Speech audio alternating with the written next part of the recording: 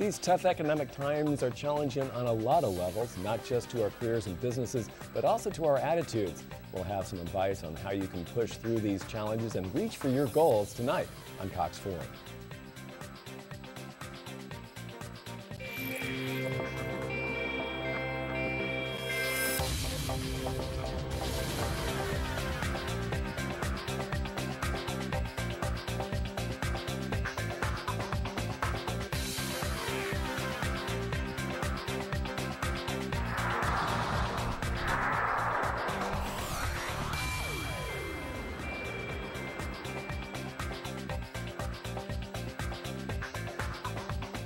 You're going to find out how to wake up and jump start your life and so much more. But first, we're going to find out what's been happening in Orange County as we take a look at the OCN2 with Rob Whitfield. Rob? Tonight, we're talking with Dan Manginelli. He, for the past 24 years, has been involved in the mortgage and real estate industry and has, uh, well, within just a couple of weeks, will come out with his first book. It's called Wake Up Jumpstart the Life You've Always Had in Mind. And hopefully, he'll be inspiring us to get through these tough economic times and uh, maybe focus back on maybe what we had in mind before the economy started going south. Welcome to the show. Thank you so much, Dave. So you, you talk about making a, a fundamental change in your life. Do you have to do that? I don't think it's necessary. I, I, I, do believe that everybody has greatness in them. And one of the biggest things in this book that I wanted to kind of relay to a lot of people is that there, there's so much great that people have that they stop themselves from doing. There's that little man in your head that kind of stops you from making changes. And most of the greatest things happen in our life because of some significant change that happened in our lives. And I mean, change equals stress and uncertainty, but it's definitely necessary for anybody to grow to any new level. And some of the most greatest things that have happened in, in people's lives have come from a change that they didn't expect or want. Mm. And the book is the premise of, of that is taking it to the things that are inside of you is just pulling them out because they already exist. It's I'm not going to be a guru through a book to say, hey, you know what? I'm going to teach you all these new things about life but just give you a different way to get quicker results. Mm. And we're going to find out how to do this as we continue talking with our guest right after this.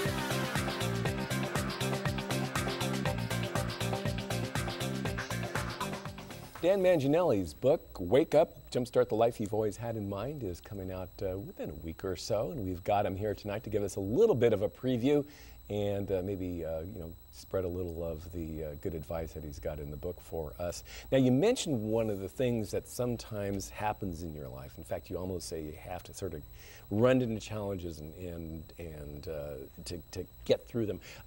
Have you had challenges in your life and what it, what, yeah, what have you gotten through? Everybody has a great story. Um, adversity happens to everybody at every level. There's no doubt about it. I mean, you, myself, everybody even watching is going to have something that happened through adversity. It's, it's how you handle the adversity to move on, because that's the choice part. What happens sometimes you don't have the choice of. A divorce happens, you don't have a choice sometimes. It's how you handle, because that's your choice there.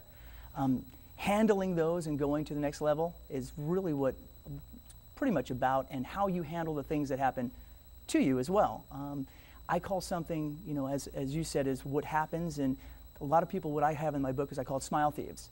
Every day you might go out and people try to steal your smile. And it's just the truth that you can go out one day and you can be dressed in the best dress you have or your best suit and you can walk out and in a second someone could look at you and go, wow, that's kind of tight and steal your smile in a matter of a second.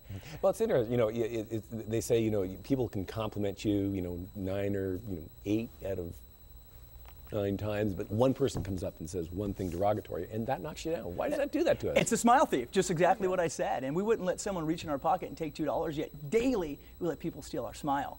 And why is that? It's because, again, self image is a big thing. Um, and we don't like to believe, everybody likes to think they have self confidence in, in, a lot of ways. But your self image of what you think of yourself really deems on what other people think of you. And a lot of people make decisions based on how is this going to look to somebody else. Mm-hmm. A lot of things people wear is how are they going to see me today at work or what is it going to look like to somebody else. And what I try to have everybody realize is all these things are normal for a lot of people. It's just your choice on how you want to handle and overcoming any adversity that you have. And the original question was, is have I had any adversities? And yeah, um, I'm in the mortgage industry. Yeah. Okay, so I mean, Yeah. in my adversities, I mean, I started 24 years ago. I started at a very young age, and uh, life was great. I mean, in, in 2006, I was had a you know a great stockholder in a pretty big company, and in a day it went bankrupt. And I started writing the book prior to that, so I learned a lot. Obviously, talk about adversity and overcoming the adversity. And what I learned is the true character of a man is revealed through adversity because you find out who the real leaders are and who's running for the door when there's a fire rather than saying, hey, let's help and get everybody out of it. Um, and like you were saying, the adversity hit pretty hard. But, yeah, but you know, so okay, let's let's put yourself in that position. Sure. 2006, you know, Uh-huh. things are collapsing. I mean, didn't at any point you're going, oh no, this is awful. I mean, didn't you? I mean, ever climb into that little in dark place? 2006 it was great because that was before so 2006 it actually was wonderful because i think i was golfing a lot and wondering where i was going to retire Oh. Uh, but so i mean that was great july of 2007 Okay. right in there Right. just in the 2007 part the industry in a whole had really taken a turn and yeah a lot of people did curl up and, and go do something else and realize that i can't make a living doing things um, how do you push on from that is you know in, in my position where i was to me it wasn't a choice because i had you know 1500 people looking at me saying where are we going now? Where, where are you leading us to go? So you know I, I weigh my options a lot but it is easy to look at it and actually take the challenge and go i'm not up for the challenge. I just and there's certain days that people look at their day and say i'm just not up for the challenge today. And hopefully in a way and, and seeing in the book is there's a way every day that to realize that there's something great going to happen. You just have to find it. So, uh, but never in that time did you ever kind of find that sort of place. Well, I'm not up to this. Did, do you you're, ever? you're ever- digging in there waiting for me to say I can crawl know, under the but desk and yeah, I mean, it's all going to hell in a I handbasket. That's human Yeah. nature. right? I mean, I, I can't Yeah. believe that you just kind of slid through and No, said, yeah, it, no, it, it's it didn't. It's gonna-" not sliding through. Is again how I how I approach it, and what I try to get out a little bit is I weigh my options. So my options was get out of the industry, Yeah. find a position for a lot of people, or just curl up and, and realize that this is it. And Yeah. for me, I lost um, in one day. The company went bankrupt. So I was a pretty big stockholder. I, I, you know, when people had portfolios, remember those days when they'd call them portfolios, not just bank accounts? Oh yeah. Well, now when you had a portfolio and you'd look at it. And you'd say, hey, this is, I'm set. All my hard work for the 23 years I've been in the industry has now paid off. And in one day, millions of dollars gone. So what did you do? I mean, what, So what what I did is I, my options were weighed. I mean, I could have I could have figured out and just took took my losses and retired. But there was a lot of other people looking to me to say, what are we doing? And my goal from there was I took my focus off of the tragedy that happened or the adversity I was from and putting it on the other people and realizing that I have to help these people. They're, these people don't have jobs and they're living paycheck to paycheck. And now they're in an industry that is, is slowly sliding. And that's when they also came up with that word, the mortgage meltdown. I mean, then the onion started unpeeling. So what did you do? I mean, what, what, What we did you- is I took from that company, we, uh, it was actually American Home Mortgage. From that company, we actually tried to um, come to an idea that that was a market-funded company. It was done where we were selling our loans on Wall Street. Wall Street didn't realize they were buying that battle loans at that time, so we didn't know. So we thought we would go to a bank where their money from the depositors, where you would go. Now, at that point, we chose a bank that didn't have a retail presence in there. We chose IndyMac Bank. Now, you're laughing because Yeah, I know what unfortunately, okay, Bank, yeah. if you watch TV, which most of you Yeah. do, that IndyMac Bank was taken over by the FDIC. So now one adversity turns into the next. Now the government comes and says, we're taking over your company. What are you doing now? So that 1,800 now turned into 800 because we had to weed people out to another company who now is, you know, I'm part of running the number one mortgage company in the United States privately held. So it- it's, I really didn't look at it as of, oh my gosh, why me? Because a lot of people do do that. And that's the tough part. It's hard not to do. There's, there's just no doubt about it. I mean, bad things do happen every single day.